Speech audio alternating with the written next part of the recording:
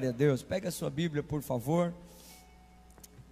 Abra ela no Evangelho de Jesus Cristo, segundo escreveu Mateus, no capítulo 2, versículo 1 e depois o versículo de número 12. Nesta série sobre caminho, Deus colocou uma palavra no meu coração. Obrigado, irmão Miro. E eu quero entregar à igreja aqui esta noite. Mateus capítulo 2, versículo 1, depois o versículo 12. Nós vamos usar esse texto como base para ministrar algo que Deus falou forte comigo esta tarde. Eu até tinha preparado outra coisa, eu queria falar sobre os que ficam à beira do caminho. E até tinha comentado com o pastor Gilson, mas esta tarde Deus falou muito forte ao meu coração sobre uma outra questão de caminho e eu quero expor a igreja aqui. Os que encontraram, digam amém. Tendo Jesus nascido em Belém da Judéia, no tempo do rei Herodes, vieram uns magos do Oriente a Jerusalém. Versículo 12. E tendo sido por divina revelação avisados em sonho, para que não voltassem a Herodes, regressaram por outro caminho a sua terra. Amém? Feche os seus olhos, Senhor.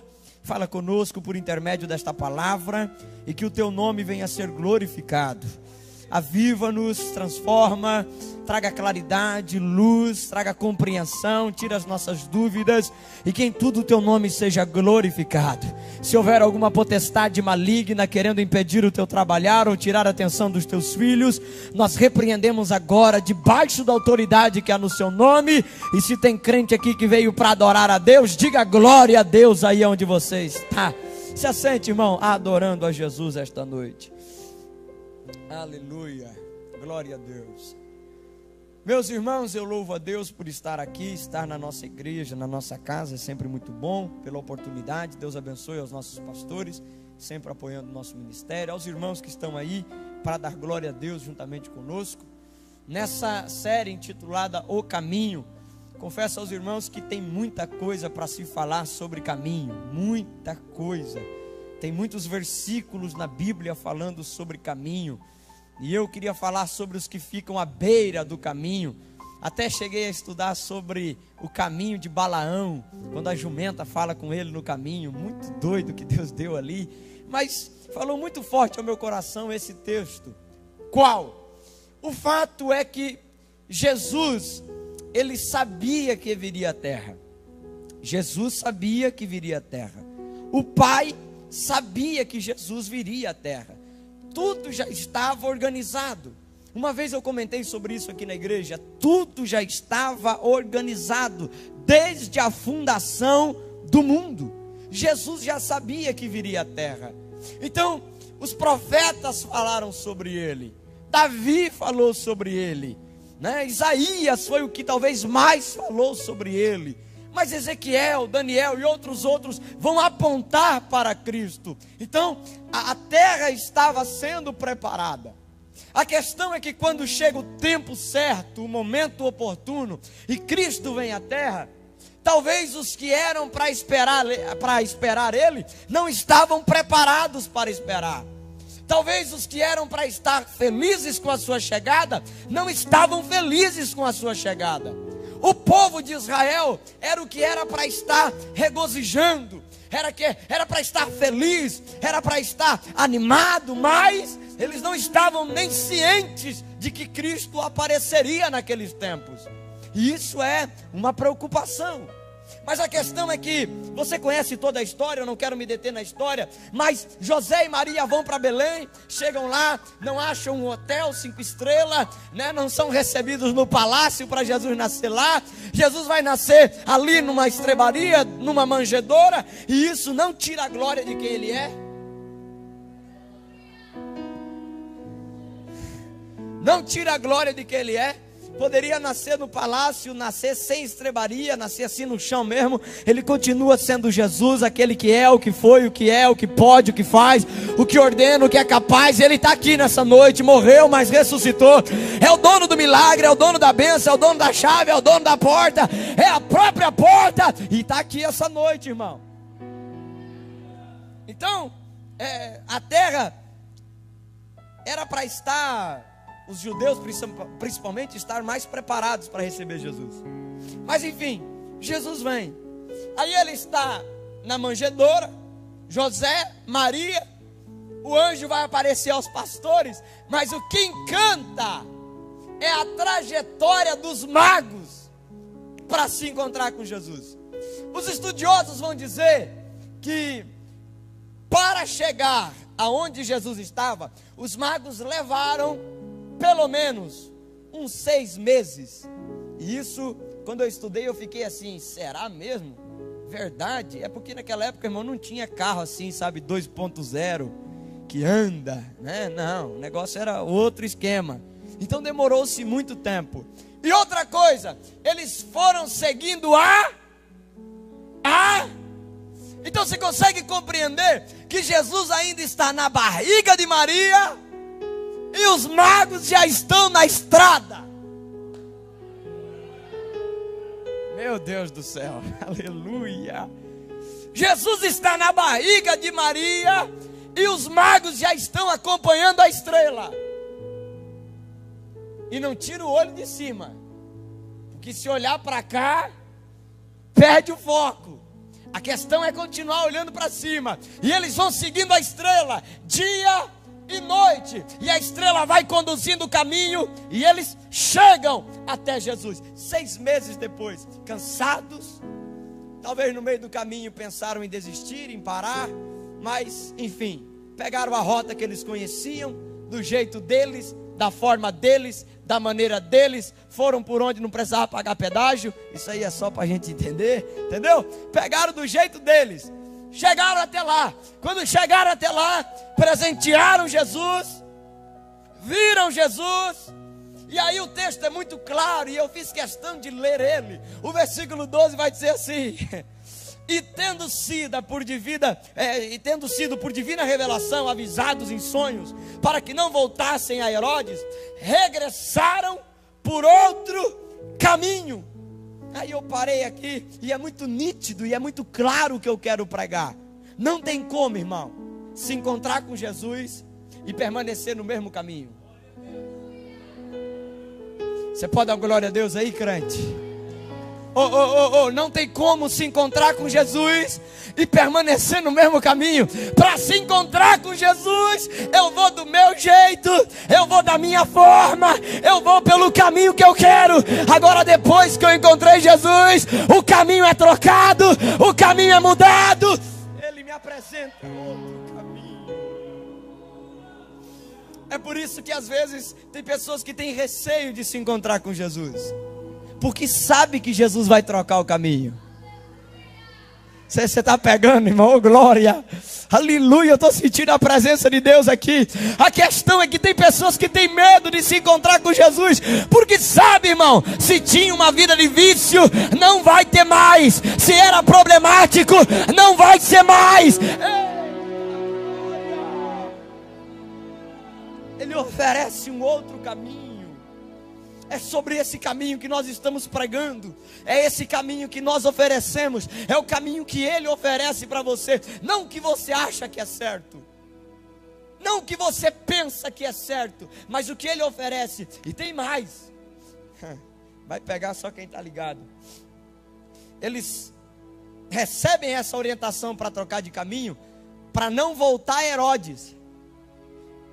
Porque se Cristo, irmão, não te apresentar um caminho novo, tu volta para Herodes. E Herodes aqui eu posso intitular, meu Deus, é fácil, né, no campo espiritual ligar Herodes a tudo aquilo que é errado, a tudo aquilo que é domínio do mal. Então, se Cristo não me apresenta um novo caminho, irmão, eu volto para minha velha vida. Eu volto para as práticas do mal. Eu volto a enganar, eu volto a mentir. Aí olha o que ele está dizendo. E o texto é muito, irmão, é muito claro. Eu, eu amo isso aqui, a Bíblia é demais. Eles voltaram para a sua terra. Porque você não vai mudar de casa, irmão. Você não vai mudar de cidade. Você não vai mudar de endereço. A questão é que você vai mudar de caminho.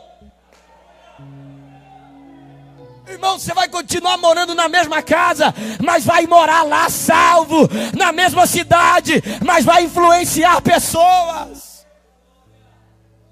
Você consegue me entender? Amém ou não amém?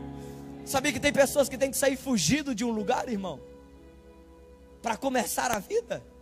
Eu preciso sair daqui e ir para lá, porque lá ninguém me conhece. Aí eu vou começar. Aí Deus fala: Não, Irmão do céu, está descendo do céu agora, oh glória. Deus está dizendo comigo, não, eu faço você voltar para sua casa de uma forma diferente, por outro caminho. Tem gente levantando a mão. Eu faço você voltar para sua casa de uma forma diferente, com o rosto transformado, com a personalidade transformada, com a família transformada. Eu quero estar nesse caminho. Quem quer estar? Levante a mão e dê um brado de júbilo aqui esta noite.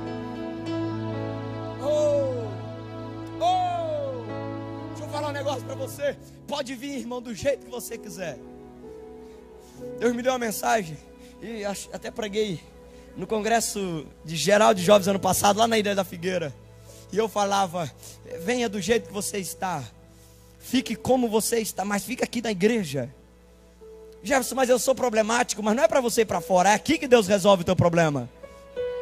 Não, Jefferson, mas eu acho que a igreja não é o meu lugar. Não, não, irmão. A igreja é o hospital de Jeová. Está fraco, é aqui mesmo lugar. Está doente, é aqui mesmo lugar. Está precisando, é aqui mesmo lugar. A igreja, irmão, não é lugar de pessoas perfeitas. É pessoas que estão sendo aperfeiçoadas. Ei, eu não venho para cá porque eu sou perfeito. Eu venho para cá porque eu estou sendo aperfeiçoado. Ô irmão, cutuca esse crente do lado. Tem gente que não gosta, mas dá um cutucão nele aí. Fala assim para ele: você está sendo aperfeiçoado. Isso, irmão, isso você está sendo aperfeiçoado. Levanta a mão aí, crente, dá um glória a Deus. Aleluia. Deixa eu falar um negócio para você. Esse caminho que ele apresenta é a melhor alternativa. É por isso que eu não aguento, irmão, já tem que descer, né? É por isso que geralmente você escuta assim, mas lá naquela igreja é cheio de ex, né? É ex-drogado, ex-viciado, ex não sei o que, ex-homossexual. E quando eu ouço isso, eu olho e falo: Uau! Cristo ainda está mudando o caminho de muita gente. Você consegue entender, irmão, que até eu chegar a Cristo eu tenho o meu caminho? E depois que eu me encontro com Cristo, Ele me apresenta outro caminho? Jefferson, antes eu era o valentão, o brabão. Depois que conheceu Jesus, irmão, acabou o brabão, o valentão, acabou.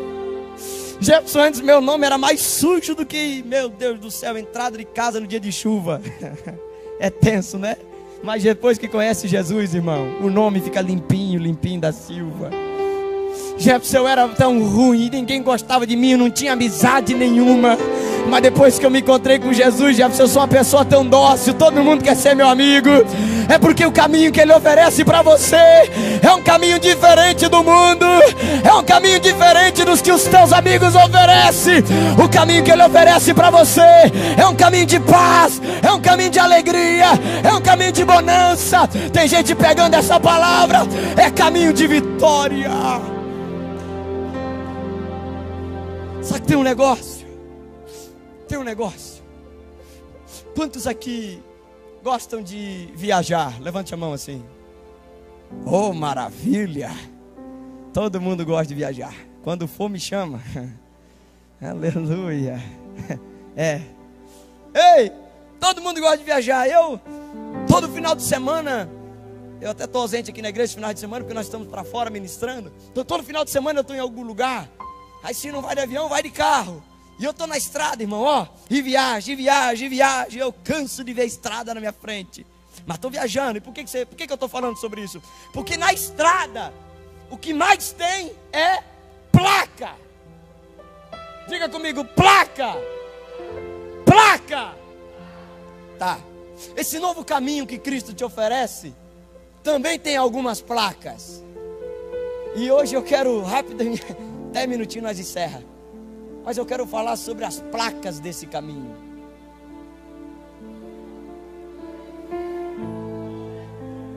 Porque não tem como, irmão, eu trilhar um caminho sem ter as placas, ou seja, eu fico sem direção, eu fico sem sinalização, eu fico sem saber o que eu faço. E pode ter certeza, irmão, que esse caminho que ele te apresenta, viu, é faixa dupla, bem sinalizado, tá? Não tem erro não, tá bom? É tranquilo, o caminho que ele te, o caminho que ele te oferece é caminho bom, tá? Mas tem uma placa e eu peguei as nossas atuais, viu? Tem muita placa, mas eu vou falar só algumas aqui. Tem muitas placas mas eu vou usar as nossas atuais para exemplificar no campo espiritual. A irmã vai me ajudar lá porque eu pedi para colocar no data show. Coloca a primeira placa lá. Isso. Essa placa simboliza que não pode fazer o quê? Não pode fazer o quê? Posso falar um negócio para você?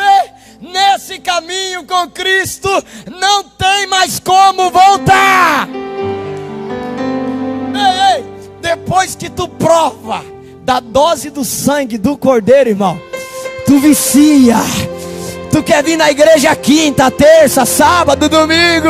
Você quer vir domingo de manhã, porque depois que a gente conhece esse caminho, nós não queremos mais voltar. Quem não quer voltar aqui? Quem não quer voltar? Ô Jefferson, mas eu passei por momentos ruins. Eu tive medo me perseguiram, me caluniaram, falaram mal de mim. Eu tive câncer, passei por enfermidade, saí do emprego. Eu só te mostro isso. Volta não.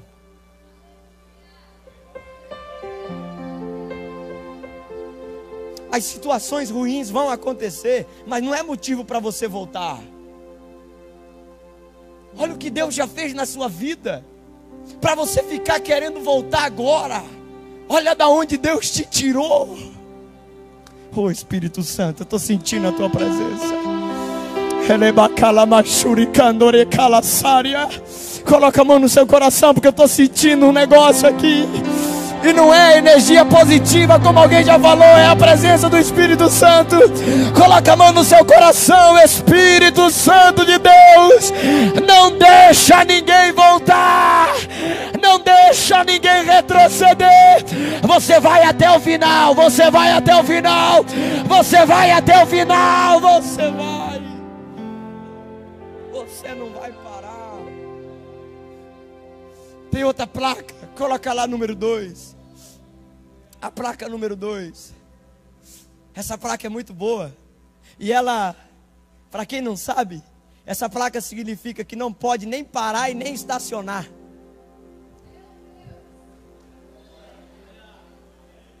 Jefferson não pode retornar? Não pode. E agora? Não para e também não estaciona, irmão. Vai em frente. E é por isso que às vezes nós usamos aquela expressão, né? Quem está parado, quem está estacionado, hoje é dia de voltar. Aí eu venho aqui, irmão, é uma mensagem simples, mas é só para te dizer: para não, desiste não, não estaciona não. Nesse caminho vai ter recursos para você, então prossiga em frente. Bate assim, assim, ó, cutuca o irmão do lado. Esse é meu jeito de pregar. Diga assim para ele: para não, viu? Fala para ele: para não, estaciona não, siga em frente. Oh, eu estou pregando para crente, irmão. Vai dar glória a Deus quem pegar. Mas com carro ou sem carro eu vou seguir. Com gasolina, sem gasolina eu vou seguir. Com casa ou sem casa eu vou seguir. Com conta ou sem conta eu vou seguir. São ou doente eu vou seguir. Nada vai nos parar. Nós vamos até o final, irmão. Aleluia.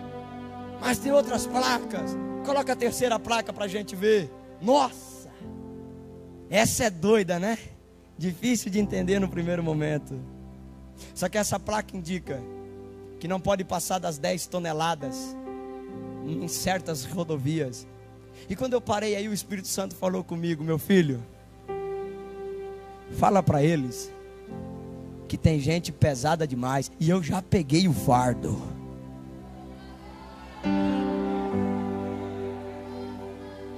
Você não pegou? Vou traduzir mais uma vez. Fala para eles que nesse caminho não quero ninguém pesado, ninguém sobrecarregado. Porque eu já peguei, já. Ó, você tá, já tem crente pegando, né? Chega de levar esse fardo com você, rapaz. Ele já levou por você, ele já pagou por você. Ei, ei, ei. Sabia que tem gente que está levando o peso de uma culpa até hoje? Sabia que tem pessoas que estão levando o peso de uma culpa, o peso de uma palavra, o peso de uma resposta, o peso de um problema, o peso de um passado. E meu Deus está dizendo assim: ó, nesse caminho você vai levinho, levinho. Você vai levinho, levinho. Eu tiro todo o peso. Eu tiro todo o peso. Coloca a mão no ombro de quem está do seu lado e diga assim: você vai sair daqui leve. Você vai sair daqui leve.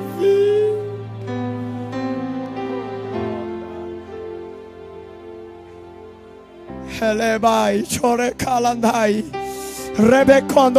calamachúria. Eu vejo lágrimas escorrendo em rostos aqui esta noite. É a presença do Espírito Santo te dizendo: nesse caminho você não vai levar peso. Satanás não manda na tua história. Satanás não decreta o teu futuro. Eu já paguei o teu passado. Eu já paguei o teu passado. Eu já paguei Ei. Tira esse peso. Arranca esse peso. É proibido nesse caminho andar carregado. Solta aquele respiro assim, irmão. Ó. Isso. Tá mais leve. Tá mais leve. Coloca lá a quarta placa para a gente ver. Quarta placa. Eu coloquei essa. E essa é um tanto óbvia. Mas isso aí é só para te mostrar. Nem sempre a tua vontade será a vontade de Deus. Há momentos na sua vida que você vai dizer assim: quero ir para lá. Só que haverá uma placa de Deus na tua frente dizendo: para lá é proibido.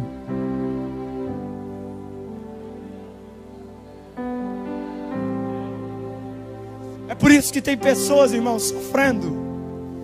É por isso que tem pessoas chorando, se machucando. É por isso que tem pessoas quebrando a cara. E eu lembro, irmão, quanto eu já quebrei minha cara por não obedecer essas regras e essas placas. E não foi falha de Deus, porque estava no caminho. Não vai para lá. E parece que tudo que é proibido é melhor, né? Diz uma frase por aí. Que o que é proibido é o que é bom. Proibido é o que te leva para o inferno, cara. Proibido é o que acaba com a tua família. Proibido é o que acaba com o teu casamento. Proibido é o que acaba com a tua vida espiritual. É por isso que comece a respeitar essas placas. Jefferson, mas eu tô doidinho para ir para lá. Se Deus está dizendo não vai, não vai. É livramento para você. Ô, irmão, tem gente que insiste numa empresa se Deus já falou que não é para ir para lá. Tem gente que insiste num relacionamento se Deus já falou que não é para lá. E como tem gente que sofre, irmão. Tem gente sofrendo na vida financeira porque fez coisas que Deus falou que não era para fazer. Tem, não. Aí, ó, você já sabe no que, que se enquadra essas placas de Deus para você. Coloca a próxima para a gente entender. São algumas placas da nossa atualidade. Essa daí é qual? Vamos ver quem está afiado. Essa daí é para você dar? Dar o quê? Posso falar um negócio para você? No caminho que ele te oferece, nem sempre vai ser tua vez.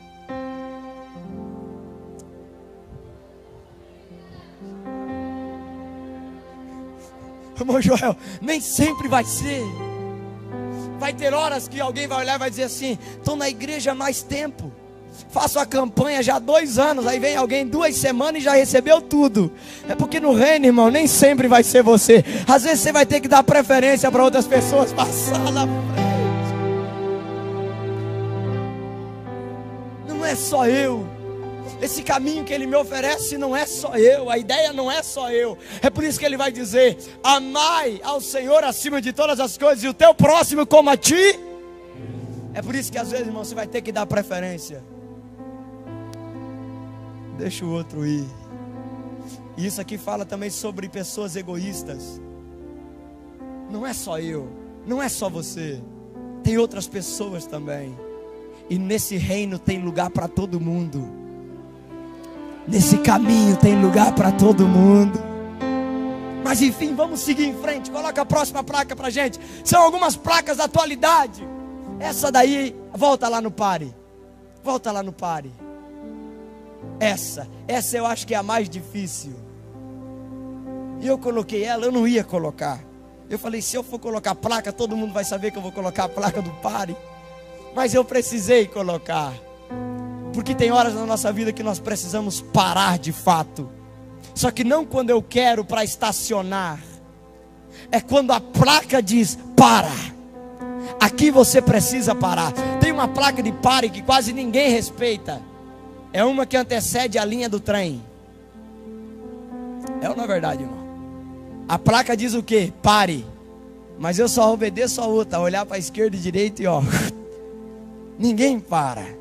A gente só para quando tem, o trem está passando. a gente só para quando é obrigado a parar. Só que aí demora mais tempo. É ou não é?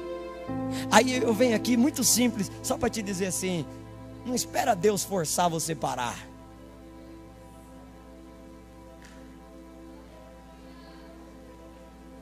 Porque daí dói um pouquinho. Vai doer um pouquinho, vai demorar um pouquinho mais. Para antes quando a placa dispare. Não é que você vai ficar parado, é que ele quer ver se você obedece. Amém ou não amém? Então fechou, vamos lá, vamos para a próxima. Próxima, já estou terminando. Eu estou falando desse caminho. Essa daqui é boa, irmão. Essa é boa. Quem entende de placa já sabe. Essa indica que o caminho vai estreitar.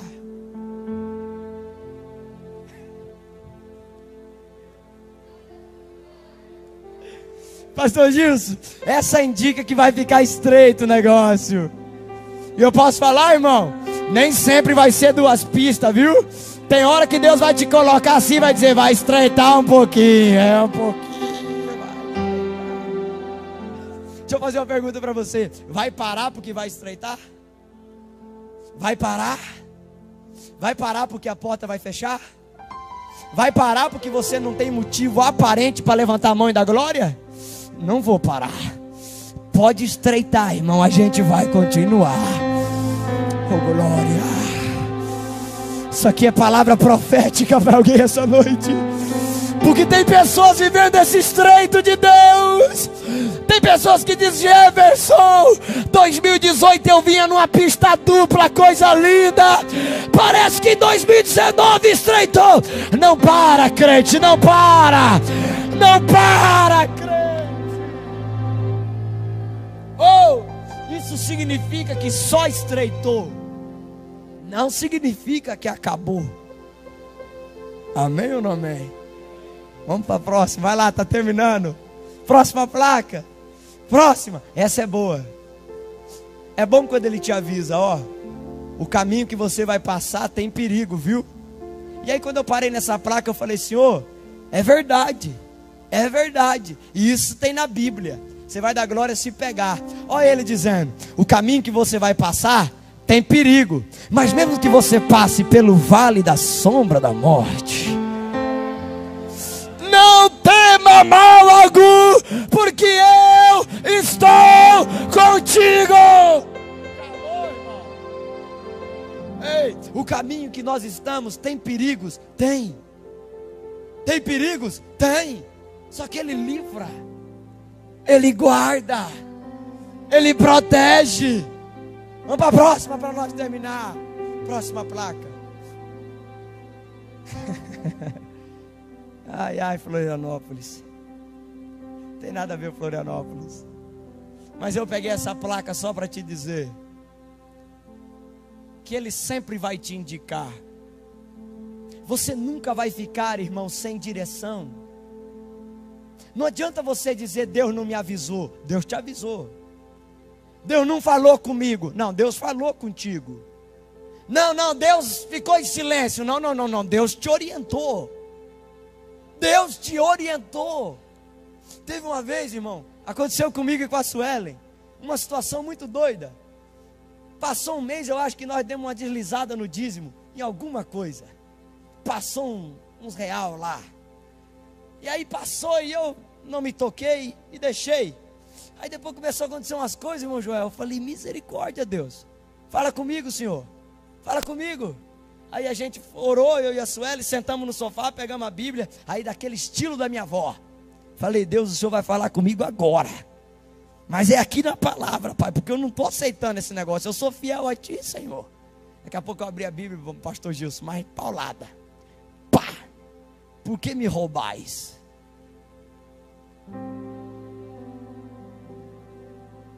Você nunca vai ficar sem orientação, irmão. As coisas que acontecem na sua vida já foi tudo indicado.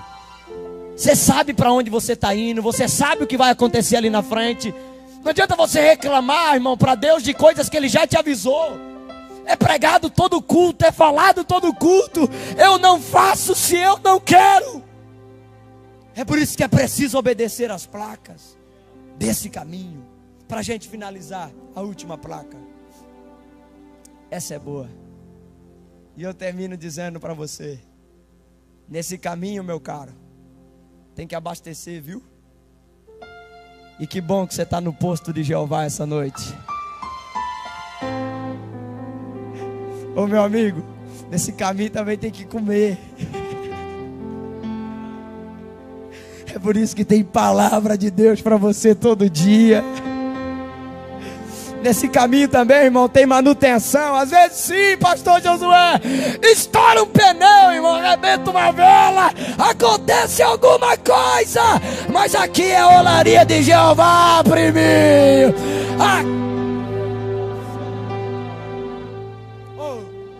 Termino dizendo: tem caminho melhor do que esse?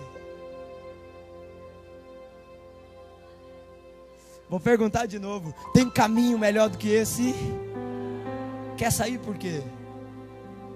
Quer parar por quê? Quer desistir por quê? Se está bem sinalizado, bem indicado, tem assistência 24 horas. Ô Jefferson, e se acontecer problema três da manhã? Lá está ele disponível. E se acontecer meio-dia? Lá está ele disponível. E se acontecer dez da noite? Lá está ele disponível. Eu não vou parar. Quem não vai parar? Fica de pé dando glória.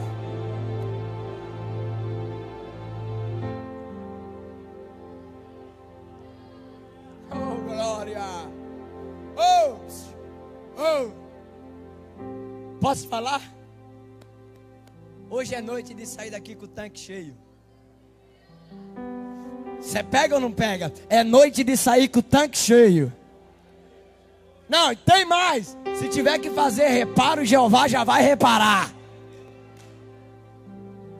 Porque se alimentar, irmão, acho que já deu para. Dá para mais uma semana.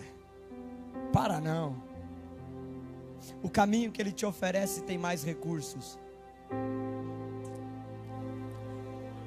E eu vou falar mais, viu? E essa expressão, quando eu escutei, é muito show. Ele é o caminho. E que você não seja o pedágio.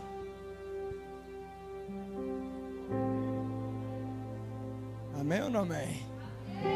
Ele é o caminho. E que você não seja o pedágio. Não seja, irmão.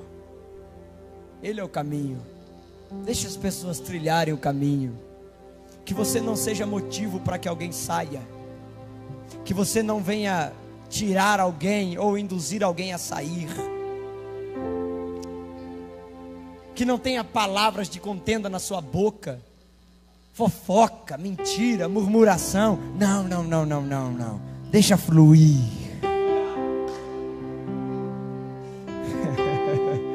Deixa fluir. Eu quero chamar aqui na frente. Oxalá que viesse todos. Mas eu quero que venha aqui só você que diz Jefferson. Eu quero sair daqui essa noite abastecido. Eu quero sair daqui essa noite reparado. Eu quero sair daqui pronto para caminhar mais 500 quilômetros. Eu quero sair daqui preparado para ir para o céu. Porque você sabe qual é o destino, e nós não vamos parar enquanto não encontrarmos um portal escrito: Bem-vindo ao céu, bem-vindo ao céu. Eu queria que você viesse aqui na frente, por favor. Vem para frente, vem para frente, vem para frente, porque nós vamos orar. Só você que quer, irmão. Se você não quer, fica no banco. Mas se tu quer, vem.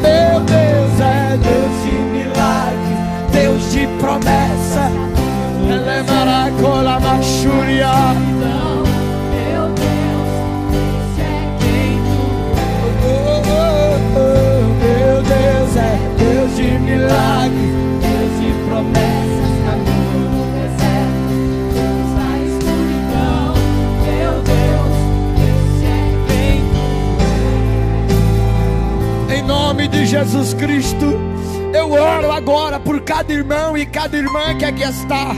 Eu não sei o que está acontecendo. Eu não sei quais são as lutas internas, os sentimentos internos mas neste caminho não há tempo para pausa, neste caminho não há tempo para parada. Senhor, abastece ele esta noite, renova ele esta noite. Ele não vai parar na caminhada, nos dá a direção certa, nos dá as diretrizes corretas e que o teu nome seja glorificado. Se você crê, receba força. Se você crê, receba graça. Se você crê, receba consolo. Tem pessoas sendo renovadas. Tem pessoas sendo consertadas. É Deus quem faz. É Deus quem faz. É Deus quem faz. Se você crê, receba esse abraço. Receba esse abraço. Alamakalama xarabacana. Remaralha suide queimatoria. Ei, ei, tem gente recebendo. Ei, aleluia.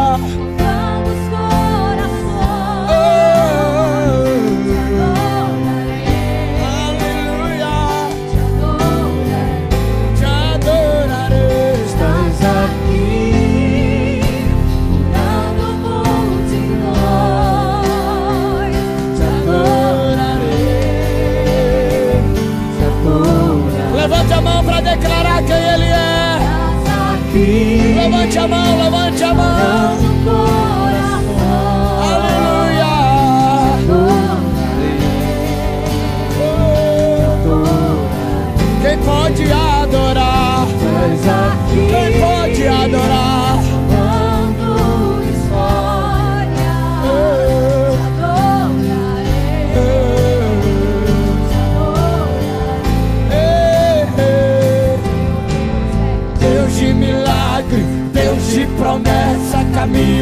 deserto, luz na escuridão. Meu Deus, este é quem tu és. Meu Deus é Deus de milagre, Deus de promessa, caminho no deserto, luz na escuridão. Meu Deus, este é quem tu és. Eu queria que você pegasse na mão de quem está do seu lado. Nós vamos terminar. Mas pegue na mão de quem está do seu lado. Alguém, nós vamos decretar isso para você. Ele mandora candará. Ó, enche, as lágrimas restauram os corações. Tu és a resposta. Jesus, receba. As lágrimas restauram os corações